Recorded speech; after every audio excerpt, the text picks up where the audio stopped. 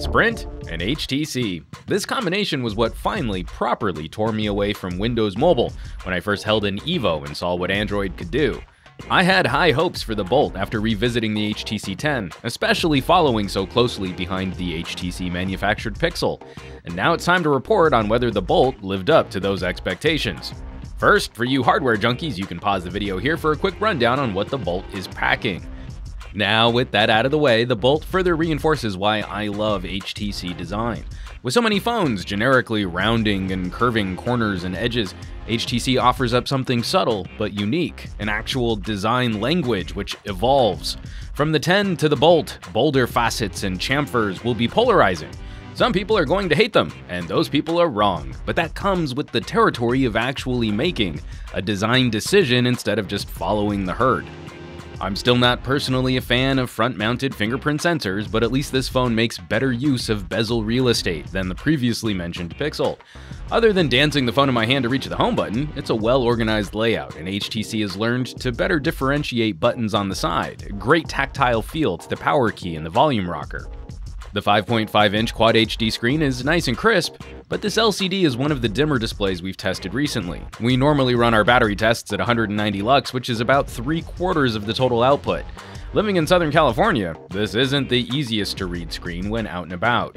Moving over to software, what an unholy mess of yellow and black. Yeah, there's a lot of Sprint piled on top, plus those value added apps pre installed a full suite of Amazon applications, AAA, News Republic, Sprint services, and DraftKings. Ugh. It's a chore, but cleaning this up is pretty straightforward, and let's slap on a less eye-searing wallpaper, how about? Very nice. After all that trimming, it's an HTC skin running on top of Android Nougat, richer notifications, split screen apps, and improved multitasking plus HTC additions to the app drawer and reorganizing the settings menu. Over the years, HTC has toned down aggressive UI elements, so the tweaks here are fairly inoffensive, if maybe even appreciated for delivering something fun for folks who feel stock Android is too plain. But once we start talking about performance, we start getting a bit concerned.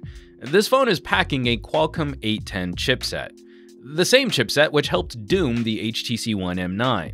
Sprint's play for this phone is to show off LTE+, which required modem and radio support only found in the 810.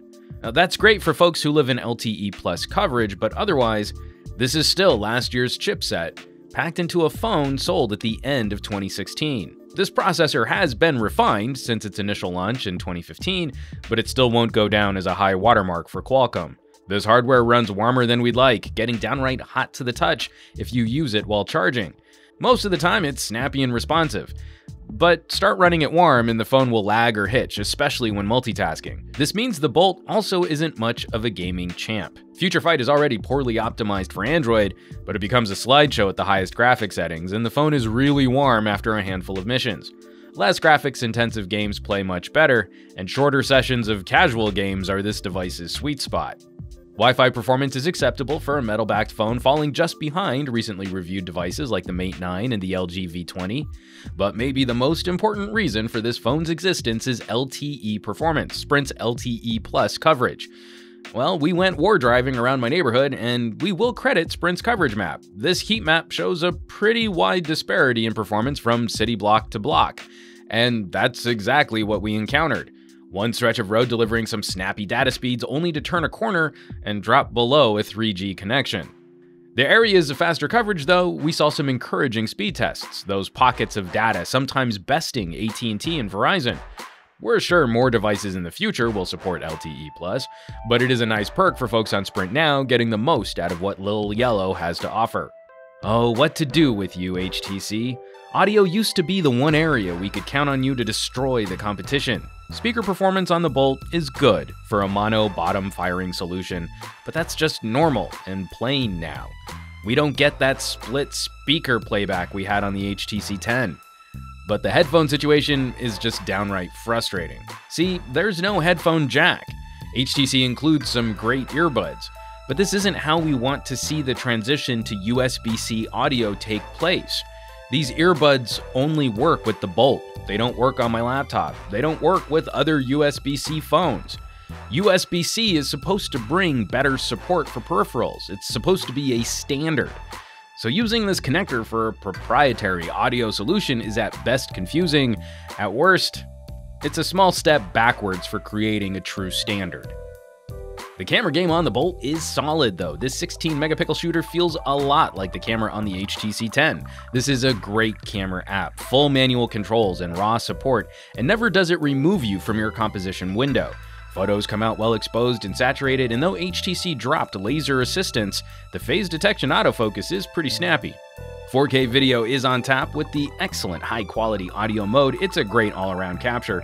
The image stabilization is still wobblier than we might prefer, but it does a respectable job of minimizing handshake when you're trying to hold still. Even though we're dealing with a higher resolution sensor, performance is very similar to what we experienced with the 10. It's not going to lead the pack this year, but it's an overall better shooter than what HTC has delivered in the past. Now, looking at battery life, the Bolt comes with a slightly higher capacity battery, but that doesn't seem to make up the difference in using a less power efficient chipset. Battery life is just okay. Running our media test streaming 30 minutes of HD video over Wi Fi at 190 lux, the Bolt drained 7%. It's not difficult making it to the evening with battery to spare, but we're often running low at dinner time. Recharging is also mid pack, 30 minutes on the supplied charger topped off 34%, well behind the performance of the HTC 10. So let's wrap this up. Where's that leave us with the HTC Bolt? This phone leaves a lot of folks conflicted, myself included. The main mission here is to show off LTE Plus, which is very well accomplished. You want the fastest network performance on Sprint? You got it. Unfortunately, dreams of a Pixel cousin with sharper HTC styling are left unfulfilled. It's perfectly capable of getting daily tasks done, though not as smoothly as phones which are already almost a year old, and we have some concerns with how well this chipset will age over time. Considering the other options on Sprint, $600 for the Bolt isn't a bad price for a premium looking phone with a 5.5 inch screen, but it's only $50 cheaper, or about 2 bucks a month cheaper, than the smaller and more powerful HTC 10. Still, it is a darn pretty phone.